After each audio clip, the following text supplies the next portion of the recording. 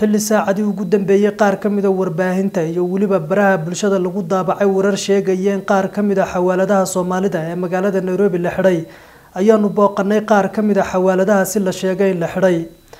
Axmed yaasiin waa mid ka mid a maamulayaasha shirkadda amal express oo aan ku booqanay xarunta dhexe ee shirkadu ay ku leedahay magaalada nairobi waxaana waxba kama jiraan ku tilmaamay warkaasi.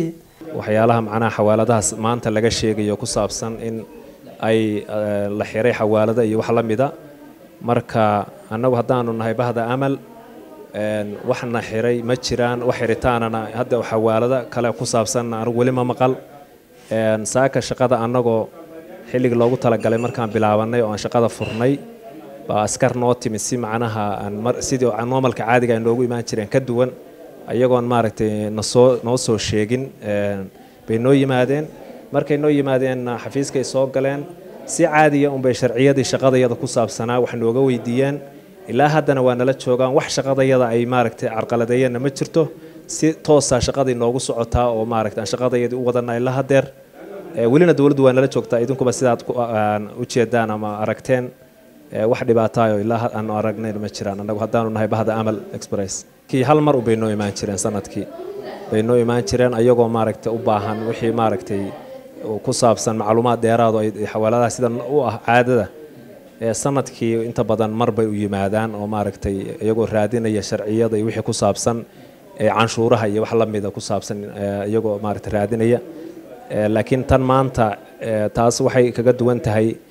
Tii hore waa laisu soo sheegi jiray laakiin tan hadda iyagoon cidna u soo sheegin bay noo yimaadeen.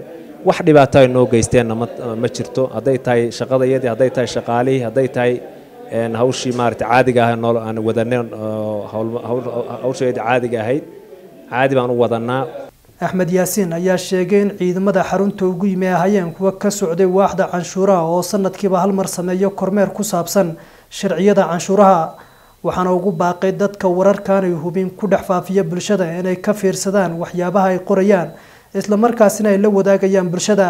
Keliya waxaan rabnaa unbay yidhaahdeen shatiyadiinna iyo inaan ogaano maaragtay canshuur bixintiina iyo wixiina inaan ogaano unbaan rabnaa annaguna soo dhawaadaan nidhi waa soo dhoweynay qaxwaan u shubnay waa soo dhoweynay waxaanu nidhi wixii aad naga rabtaan waa sidaana qaata oo fiirsada haddaad rabtaan. Sidii bayna weli noola joogaan una fiirsanayaan wixii ay nooga baahnaadeen.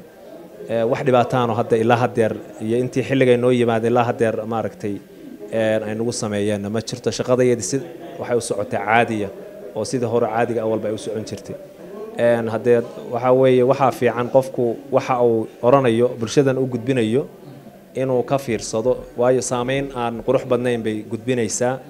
Oo maaragtay khaldan marka waxaa fiican waxaad ummadda u gudbinaysa inay noqdaan wax saxa oo aad hubtid inay noqdaan. Marka annagu kolley meesha laga keenay cidda keentay waxaan jeclaan lahaa iyaga in la weydiiyo. Cabdirashiid obsiye cable t v nairobi